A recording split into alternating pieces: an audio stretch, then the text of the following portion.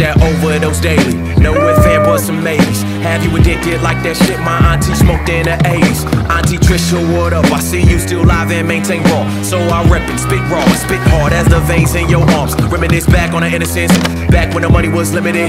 Before we had stacks, before we had racks, before we had raps on the internet.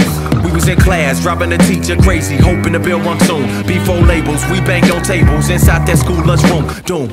Only one I graduated, but still hung outside school. Was school with the dropouts. Didn't wanna work around the clock from 9-5 just. Ça va Tranquille.